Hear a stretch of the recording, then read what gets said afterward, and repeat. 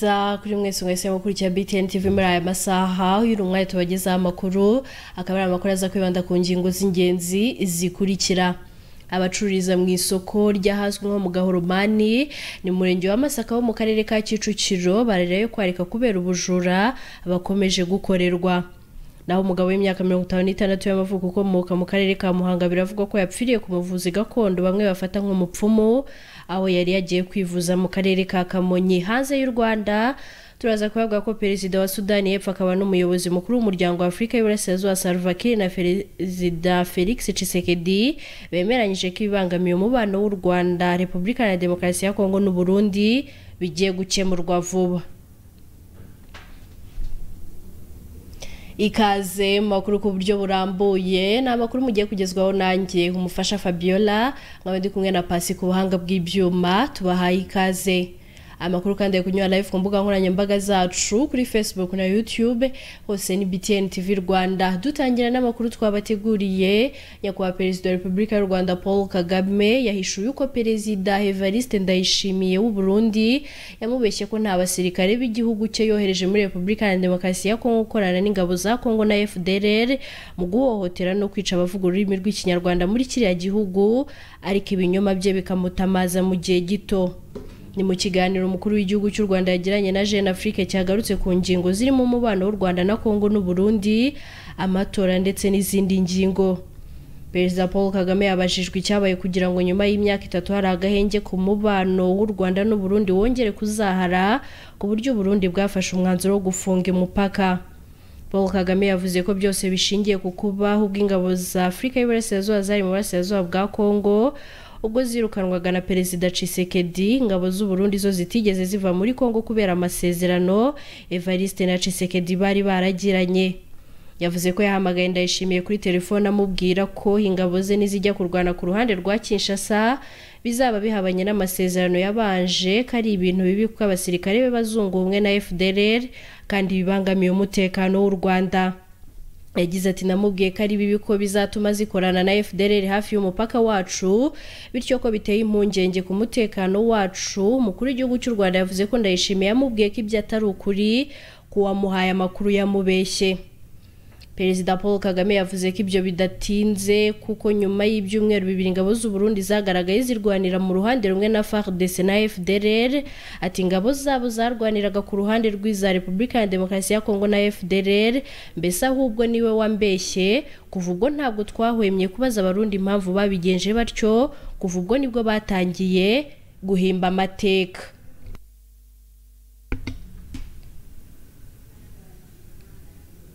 Amakuru twateguye ka tuyakomereze ku bijyanye n'ubucuruzi n'umutekano abacururiza mu isoko ry'ahazwi nko mu gahoromani ni mu murenge wa masaka wo mu karere ka kicukiro hano mu mujyi wa kigali bakomeje kurira yo kwarika kubera ubujura bari gukorerwa nyamara bafite sosiyete ibacungira umutekano w'isoko. Inkuru ku buryo burambuye na yo barushimuye bihoye iki keve christian.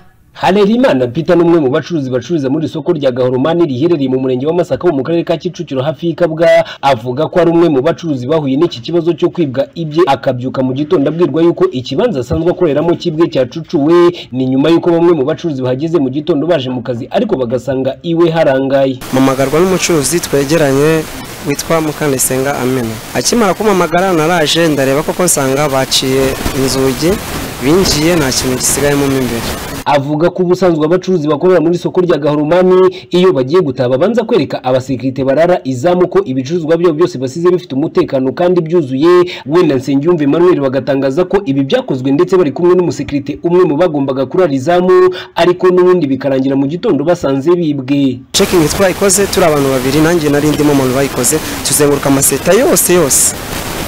Umusekirite bari baduhaye n'umwe witwa Alice. Byarakozwe.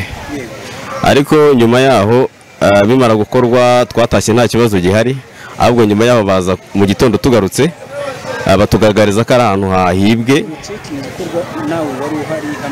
Twari duhari kimwe n'uwo nguwo wibwe. Ubwo rero tumaze kugenda ahubwo mu gitondo tugarutse ni bwo batubwiye ko ahantu hibwe. Peter avuga ko yitabaje ubuyobozi bw'isoko ndetse hakanatumizwa abasekirite bari barayizamu bose bakavuga yuko batazi uko byagenze. Bikaba ngombwa yuko ikibazo cye kigeza kuri RIB ariko n'ubundi amaso akaza guhera mu kirere. Kuri ubu hakaba hashize amezi agera kuri atandatu. Bantumiza wa musekirite twasize tuberetse ko hakinze. Yesi ajyayo ashobora kuba yaragiyeyo ntabwo mbizi kuko nasubiye kuri ribu barambwira ngo ngo ntabwo babashe kubona umujura. Uretse Peter Emmanuel n'abandi bacuruzi bacururiza muri iri soko rya Gahoromani iki kibazo bagihuriyeho ndetse bakavuga ko babazwa no kuba bibwa ariko ntibishyurwe. Nyamara mbere y'uko iyi kompanyi icunga umutekano ya Haiseke iza ngo ubuyobozi bw'isoko n'abasekirite babyo bahitaga bafasha abibwe kuba bakwishyurwa ariko aho iyi sosiyete iziye ngo kuri ubu kwishyurwa byabaye ingume bagatangaza ko bakwiriye kuba bafashwe ikibazo kigakemuka ngo kuko ahanini usanga amafaranga baba bakoresha ari aya banki bakaba batanatinya gushyira mu majwi abasekirite b'iyi kompanyi ngo kuko mbere y'uko baza iki kibazo kitari kiri kuri uru rwego. Nagiye n'ubu twahise dutanga ikirego kuri ribu bagahora batubwira ati muzagaruke bari turi gukora iperereza turebe tuzafata umujura? Na n'iyi sana ubwo twe turasaba ubutabera bakaturenganura kuko ibyacu byaribwe kandi ntabwo turi kubona ubwishyu tuba twatse amadeni tuba twatse kredi muri banki kugira dukore twiteze imbere. Ubuyobozi bw'isoko narabwiyambaje banga kumfasha kandi ari bo bakanyishyurije muri hayiseke ka hayiseke ije ni ukuvuga ngo habaye abantu bose bibwe abishyuwe ni bake. Ko baturenganura bakatukishyurwa ibyacu byibwe. Twebwe dufite ikibazo cyane hano cy'abajura baratwiba kandi tuba twakinze tugasohoka isoko abasekirite bahari banakinze bakaturenganura rwose tuba twafashe amakeredi. Twe twatekereje ko ariho babitwara kuko twibwe mu gihe kimwe cy- cy'abo basekirite bari bariho muri icyo gihe. Byaba ngombwa bakanaturiha kuko ni amakeredi nyine abantu tuba dukoresha. Kenshi isoko tubona ari bo baturiha ariko iyo tugiyeyo batwohereza kuri kampani iducungira iby'ubucuruzi bwacu ayisenke ntabwo uba uzi ko ibintu byawe uri bubisange bitewe n'uko nta mutekano biba bifite rwose. Turasaba ubuvugizi bw'abantu bibwe ko barihwa ibyabo kandi n'ibintu byacu tukaba bikaba ngombwa ko byagira sekirite twatangiye kwibwa baje urumva nawe urumva ntago iyo iyo gahunda yabaho y'uko haje abo basekirite wibwe ubure gutekereza ko ari bo. Ubuyobozi bw'isoko ko ni bwo butureberera ni bwo twishyura ni bwo dusorera. Bwakamfashije. Twasabaga nuko haba haba ah, izindi mpinduka mu gucunga umutekano w'isoko. Kandi n'abantu bagerageje kwibwa ibyabo bakaba babisubizwa. Nteziryayo Deni ushinzwe umutekano w'iri soko rya Gahoromani avuga ko aba bacuruzi ngo koko iki kibazo cyo kwibwa kizwi kandi kijya kigaragara kenshi ariko agatangaza ko abatari bishyurwa bazishyurwa bitewe n'uko iyi kompanyi Haiseke abibwe bose ibishyura ndetse ngo abangaba bagaragaza iki kibazo n'uko dosiye zabo zikiri kwigwaho batari basubizwa ariko amaherezo bazishyurwa. Hano hari abishyuwe hakaba n'abandi batarishyurwa ariko dosiye yabo ikaba iri muri muri kampani sekiriti ayiseki ishinzwe umutekano w'ijoro n'amanywa ubu dosiye zabo ni ubuzima tumije abayobozi babo baraza n'abibwe babyumvikanaho ukuntu bigiye gukurikirana muri aha ngaha iyi kampani yacu na yo iraje igakora cekingi basanga bamumeneye bamenye iseta ya nyirayo kampani ikamwishyura kampani hayiseki twagerageje kuvugana n'ubuyobozi bwa kompanyi icunga umutekano ya Haiseke ariko ntibyadukundira ubwo bazagira icyo batangaza kuri iki kibazo. Tukazabigarukaho mu makuru ya cataha ibarushimwe biwo Keve Christian BTN TV i Kigali.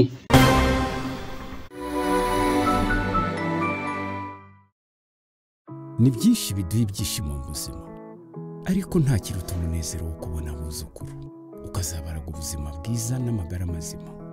Kandi by'umwihariko ukabatuza guhitamo neza. Rwanda famu irabashimira imyaka mirongo ine tumaze tubaryamisha kuri matara z'umwimerere kandi ziramba. Mwarakoze kurambana natwe. Rwanda famu le paradis di matela. Rwanda famu matela nyarwanda.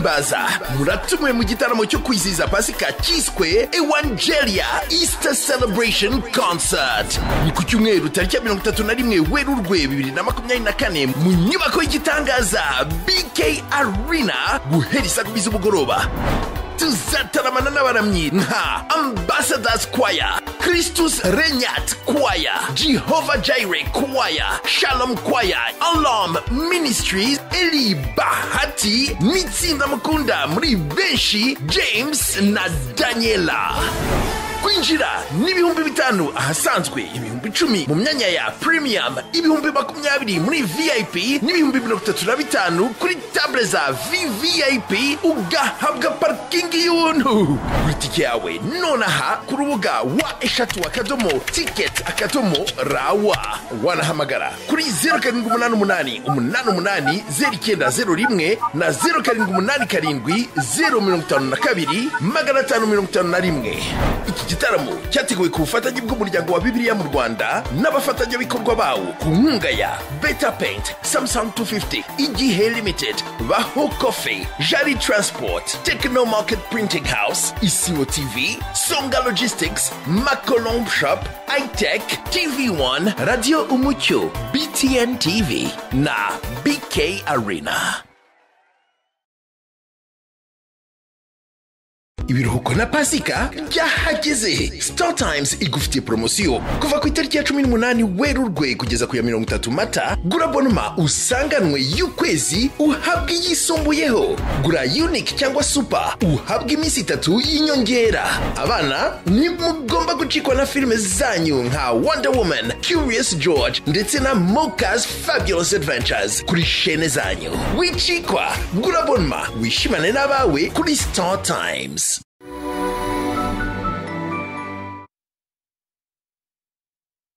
Babateguriye nyuma y'aho abaturage b'umurenge wa nyundo mu karere ka rubavu mu ntara y'uburengerazuba bari bavuze ko batewe impungenge n'imifuka yari yashyizwe ku mugezi wa sebeya kuri baravuga ko bashimishijwe n'umushinga wo kubaka urukuta rw'amabuye watangiye gushyirwa mu bikorwa. Inkuru irambuye na jacques tuyishime ni nyuma y'aho abaturage b'umurenge wa nyundo w'akarere ka ruvu bavuze ko ngo bateye impungenge n'imifuka ye yashyizwe ku mugezi wa sebeya ngo igamije kuzabuza amazi kuzongera kubasenyera. Kuri ubu baravuga ko ngo bashimishijwe n'uko hatangiye umushinga wo kubaka urukuta rw'amabuye n'isima. Ubu ngubu bikaba biri kudushimisha yuko bagiye kutwubakira urukuta rukomeye. Iyo basizeho imifuka bazi gushyiraho imifuka abaturage tubona yuko ndacu badukoreye yuko sebe inagomba kutujana ubwo BTN TV yaganiraga n'abaturage batuye uyu mugezi bayitangaje ko ngo bangikijwe nuko ushobora kuzongera kuzura ngo ukabasenyera. Reka nkubwire kugeza iyi saha naho ntuye. Nabonye bashyizeho imifuka. Kandi ni ho sebe yari yatobokeye ikubitana n'iya hano ya mifuka yari ihari iragenda inzu yanjye iragenda n'abaturage twari turi kumwe bose baragenda. None cya bya bindi byo mwavuze ngo ntabwo ni byo muje kudukiza ahubwo twabonye ari byo bagaruyeho imbere y'iwanjye. Badushyingwe ni nk'aho baduhambye bongeye baduhamba bwa kabiri. Kuko nesebe inagarutse n'ubundi yakongera igakuraho n'uwari wasigaye. Tumeze nk'aho ubuzima bwacu buri bugiye mu kaga kubera iyi mifuka mureba n'iri taka ahubwo mutubarize icyo kibazo kuki mwaduhaye inkunga y'ibintu bikomeye bakaba bashubijeho bya bindi byatwangirije? Turasaba ko ahantu bari gushyira imifuka bayihakura igihe cy'imvura kitari cyongera kugaruka. Nanone kandi bakomeje bavuga ko ngo nta burambe bw'imifuka. Ubundi imifuka iyo ushyizemo itaka ntabwo yamara amezi atanu atandatu ubwayo itari yashwanyagurika ngo ibore. Ubwo rero iyo imaze kubora byose bihinduka itaka gusa.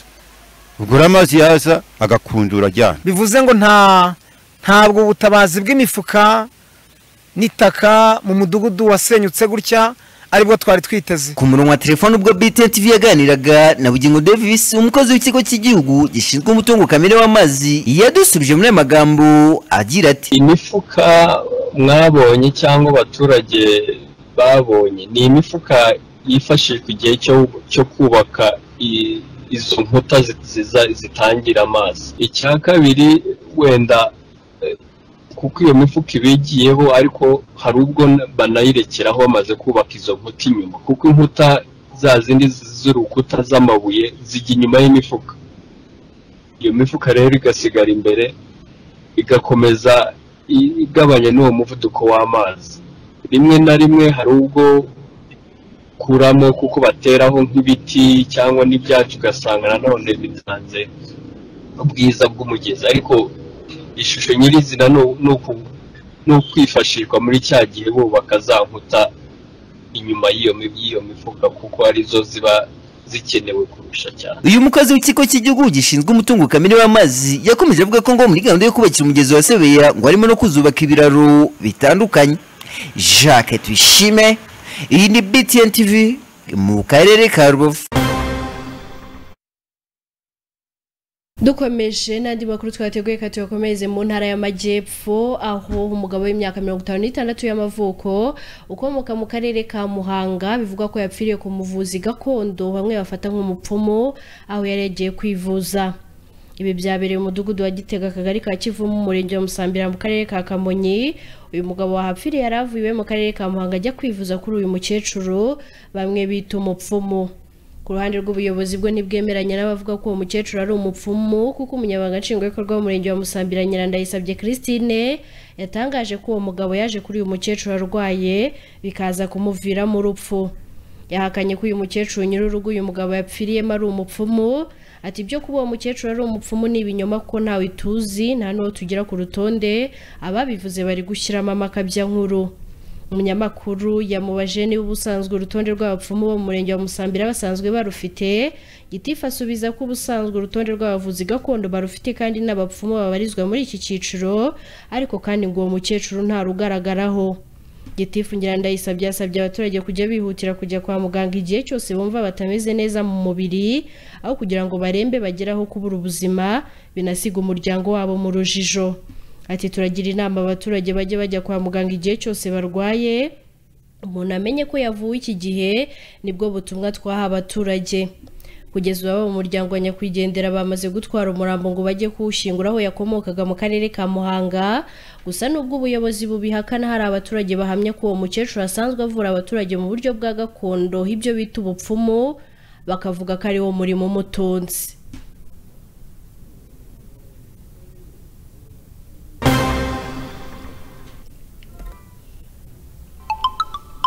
wari uzi yuko kimwe cya gatatu cy'ubuzima bwawe kimara uryamye? Ni kubw'iyo mpamvu. Uruganda rwa mbere mu zigenga rwubatse mu cyanya cyahariwe inganda imasoro rwa matera dodoma rubakorera matera zitandukanye zaba zirimo rasoro ibitanda imisego n'ibindi byinshi. Ni na zo matera za mbere zahawe ikirango cy'ubuziranenge na rwanda standards board. Wari uzi yuko matera dodoma imaze imyaka irenga makumyabiri n'itanu ikora matera zujuje ubuziranenge muri afurika y'uburasirazuba no hagati. Bikaba ari na yo mpamvu yatoranyijwe mu bigo bitanu byahize ibindi. Muri made in rwanda. Bibiri na cumi n'icyenda. Shishoza urebe ku muguno wayo niba handitseho kiyoferi magodoro dodoma kigali tense tech. Abanyamwuga mu gukora amahema y'ubwoko butandukanye bitewe n'uko mubyifuza nk'amahema atwikira imodoka igatandukana n'izuba n'imvura akoreshwa mu birori mu bukwe n'ibindi bitandukanye amarido yo muri tente imitaka yo muri jardin na tente nziza zo kuganiriramo wakoresha muri bizinesi yawe tutibagiwe n'ububiko bw'amazi buzwi nka blada abo mu bukerarugendo namwe kigali tense ntiyabibagiwe kuko tubakorera amatenti yo gukambikamo mu bipimo bitandukanye. By'umwihariko kandi tugusanira amahema yangiritse mu buryo bwa kinyamwuga. Dukorera kimisagara kuri kiliziya saint pierre wanaduhamagara cyangwa ukatwandikira kuri zeru karindwi umunani umunani magana cyenda na cumi na kane magana atatu n'umunani. Kigali tent tech. We are the leading tent designer inzu yawe kampani yawe ndetse n'aho ukorera aho hose hakeneye gusa neza byihariye. Laguwari trading limited ni abantu bagufasha kugera kuri izi nzozi. Ahanje kukubwira si ukuhamamaza ahubwo ni ukuharanga. Ngwino tuguhe ya makaro yose meza cyane agezweho ayo uzashyira mu ruganiriro mu gikoni n'ahandi hose. Pv span ndetse n'amasika n'indi miti yose irinda ikanarwanya imidite iyi ngiyi turayiguha maze tukanagufasha byose kubishyira mu nzu yawe.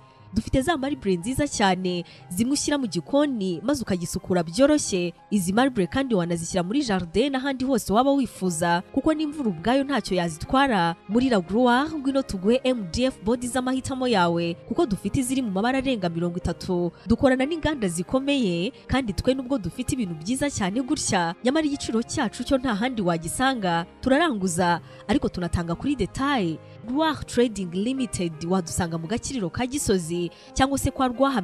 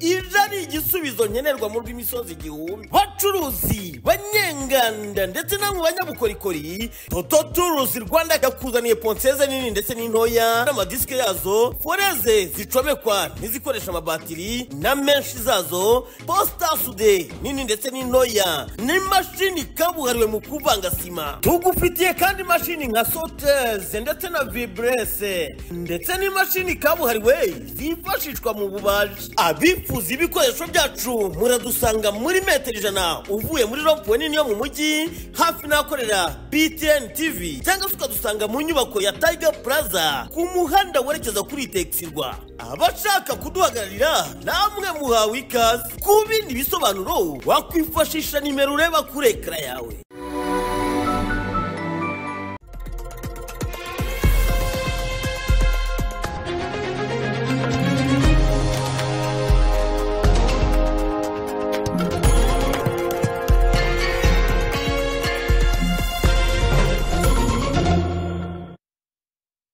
Ikaze makuru avugwa hanze y'u rwanda. Perezida wa sudani y'epfo akaba n'umuyobozi mukuru w'umuryango wa afurika y'uburasirazuba perezida salva kiir ndetse na perezida felix tshisekedi bemeranyije ko ibibangamiye umubano w'u rwanda repubulika ya demokarasi ya kongo n'uburundi bikwiye gukemurwa vuba. Ibi babitangarije mu kiganiro bagiranye n'abanyamakuru cyo kuwa makumyabiri na gatanu werurwe uyu mwaka ubwo salva kiir yari muri repubulika ya demokarasi ya kongo. Yagize ati ibiganiro byacu byari byerekeye ku guteza imbere amahoro n'umutekano mu karere kacu. Ndabizeza ko mu nshingano zanjye nka perezida wa afurika y'iburasirazuba tuzakorana kugira ngo akarere gatekane hagamijwe kugera ku iterambere ry'imibereho y'abaturage n'ubukungu. Perezida salva yageze muri repubulika ya demokarasi ya kongo nyuma yo gusura u rwanda n'uburundi aho yaganiriye n'abakuru b'ibihugu byombi ku buryo amahoro n'umutekano byagaruka mu karere. Uruzinduko yakoze mu gihe nka repubulika ya demokarasi ya kongo n'u rwanda bishinjanye guhungabanya umutekano wa buri ruhande binyuze mu mitwe yitwaje intwaro ya m23 na fdrr uburundi nabwo bushinja u rwanda gufasha umutwe witwaje intwaro wa leta bara ndetse byatumye bufunga n'imipaka muri mutarama uyu mwaka gusa u rwanda rwasubije ko nta bufasha na buke ruha umutwe uwo ari wo wose urwanya leta y'u burundi.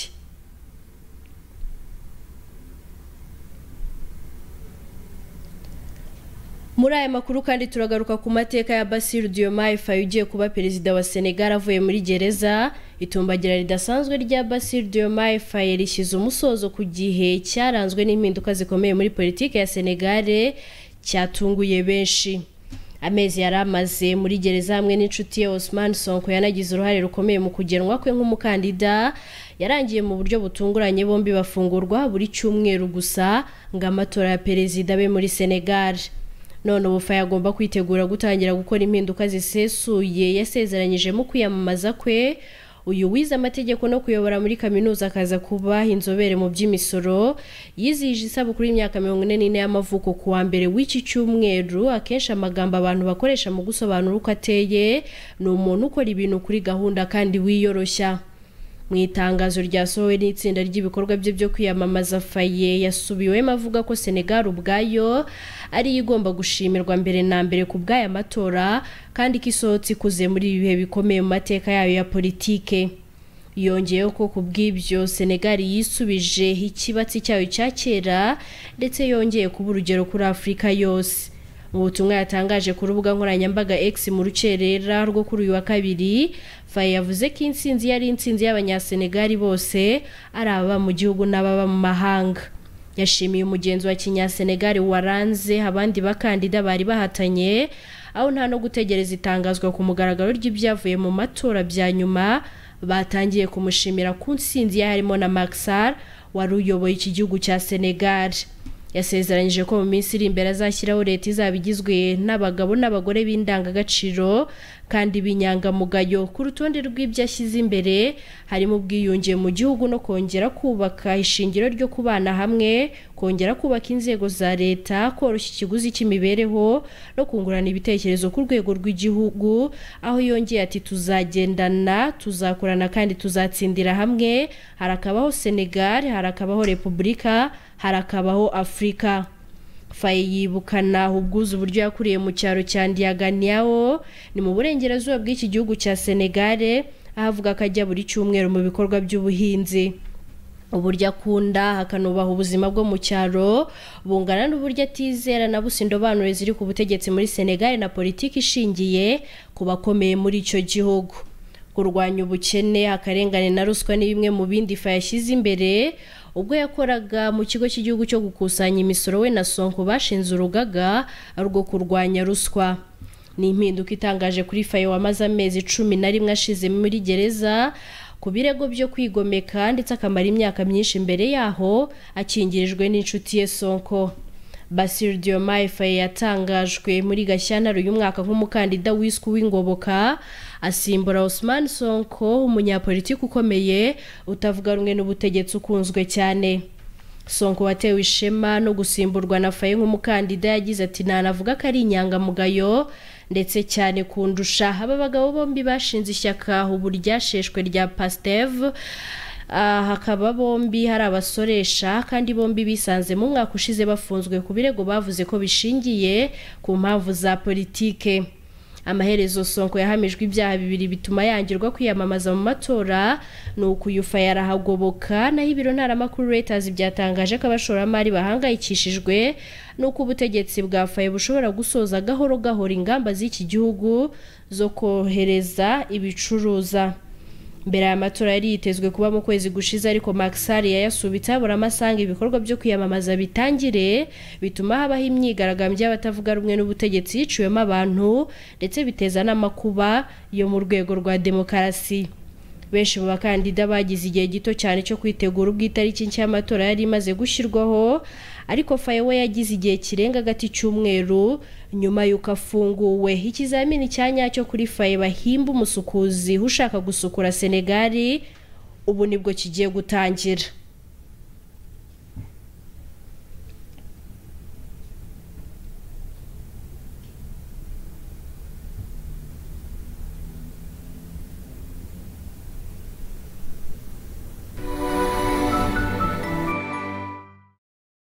Ni byo koko inzobere zabivuze neza. Neza rero musabane mwisomera inzoga zikorwa n'uruganda adivante gurupu limitedi dore ko twakuzaniye rikeri ziri mu moko atandukanye harimo nka garandezire izwi nk'umusaza wicaye swaga wisiki ndetse na mambo jini hitamo neza rero winywere rikeri zacu zujuje ubuziranenge kuko twahawe ikirango cya esimaka abifuza kugura cyangwa se kurangura izi rikeri zacu. Mwazisanga nyabugogo mu mujyi wa kigali rwagati ndetse n'aho usanzwe ugurira ibyo kunywa mu gihugu hose.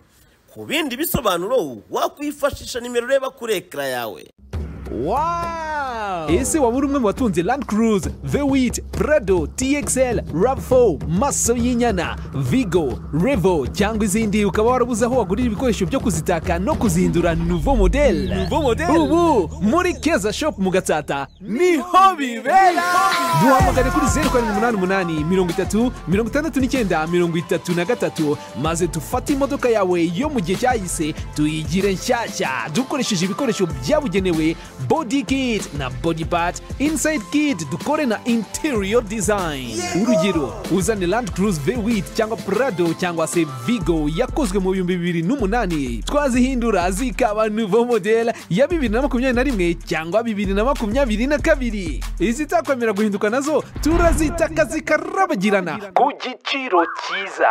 Gutuma ibikoresho dubai japan india na china abandi barabiduhariye. Reka mbarangire neza. Keza shop iri mu gatsata mu cyerekezo muri sitasiyo ya gaz oil. Iyo umaze kwinjira muri sitasiyo neza uhita ureba iduka rya nyuma rihera ryegeranye na pompe ya peteroli rimanitseho amajante n'amatara hanze ryanditseho keza shusho duhamagare kuri zeru karindwi umunani umunani mirongo itatu mirongo itandatu n'icyenda mirongo itatu na gatatu maze isi iguhindukane ijuru ureba keza shopu twe duhindura imodoka ikaze muri sunshine rwanda ceramics limited. Uruganda rukora amatafari akomeye kandi y'umwimerere. Aya matafari ubwayo asa neza ku buryo adakenera guhongerwa ibindi nk'amarangi kandi ari mu ngano zitandukanye nka solid standard bricks porous brick 7 porous brick 9 ndetse na medium porous bricks. Akarusho kandi ni uko kuri ubu noneho abakiriya bashyiriweho igabanyirizwa rya mirongo itanu ku ijana. Sunshine rwanda ceramics limited iri kabuga ahitwa nyagacyamo muri rugende mu karere ka gasabo ku birometero bibiri uvuye kuri kaburimbo. Ushobora kandi no kuhagera ukoresheje google map. Nawe ukeneye ibindi bisobanuro hamagara kuri zeru karindwi mirongo itatu na karindwi mirongo itandatu n'icyenda iminani ine cyangwa zeru karindwi mirongo itatu na gatatu mirongo icyenda na rimwe cumi na rimwe cumi na rimwe. Hamwe na sunshine rwanda ceramics limited. Twubaka ibikomeye nk'urutare.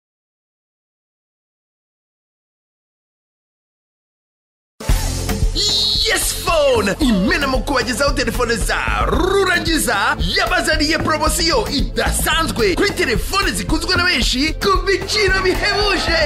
Iduka yes phone ryabahananura ibiciro cyane. Rinabagenera impano zishimishije. Ukimara kugura telefone nka bluetooth speakers headphones bags imitaka n'ibindi byinshi. Tubashyirira amativisi n'andi ma application hifashishijwe imashini kabuhariwe y'uruganda. Tunakomeje kubaha telefone mwishyurira make make mu gihe cy'umwaka wose. Dukorera mu mujyi hafi ya city plaza na nyabugogo mu mashyirahamwe. Imbere neza feruje hose harangwa n'icyapa kinini cya telefone cyanditsemo yes phone. Wanaduhamagara kuri zeru karindwi umunani umunani makumyabiri na rimwe cumi na gatatu makumyabiri na gatanu. Muri yes phone umukiriya ni umwami.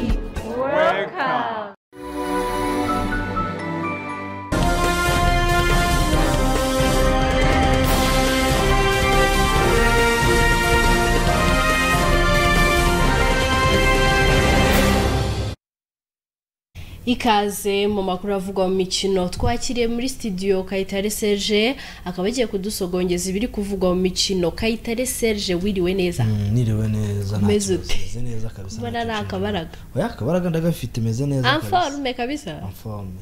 Muri siporo rero haravugwa iki? Yes muri siporo uh, ni ikipe y'igihugu amavubi iherereye mu gihugu cya madagascar imazeyo iminsi igera ku munani. Yarimo yakina imikino ya gicuti yagombaga gukinamo yakinwe n'ikipe y'igihugu ya botswana igatsinamo ibitego bakanganya ubusa ku busa.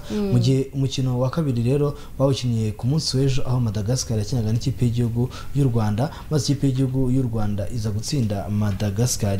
Ibitego bibiri byose ku busa. Ni igitego kimwe cyabonetse mu gice cya mbere gitsinzwe na mugisha gilbert kuri pasi ya keve muhire mu gihe igitego cya kabiri cyaje kuboneka gitsinzwe na bizimana jad ku minota mirongo cyenda kuri pase yarahawe na biramahire abedi. Hanyuma ubwo ikipe y'igihugu y'u rwanda ikazaba igera mu rwanda ku munsi wo kuwa kane ikazahaguruka ku munsi w'ejo. Reka nkubwire yuko n'ubundi twerekeje yandi makuru ari kuvugwa mu rwanda turekeza mu ikipe ya as kigali. Ikipe ya as kigali nyuma y'iminsi igera ku icumi idakora imyitozo kubera kudahembwa amafaranga bari bara amafaranga yageze mu mezi atanu. Kuri ikipe ya as kigali rero ku munsi w'ejo yakoreye imyitozo kuri tapi rouge abakinnyi bose bari bahari. Barabishyuye Hanyuma, se? eh, bamaze ntabwo barabishyura yose ariko bamaze kuyabaha okay hanyuma ah, reka twerekeze n'ubundi mu yandi ma ekipe arimo aritegura shampiyona icyiciro cya kabiri ndetse n'icyiciro cya mbere. Ikipe ya gorira fc mu kanya ku isaha y'i saa munani iraza kubikira n'ikipe ya visio fc baza kuba bakina rero eh, kuri stade eh, mumena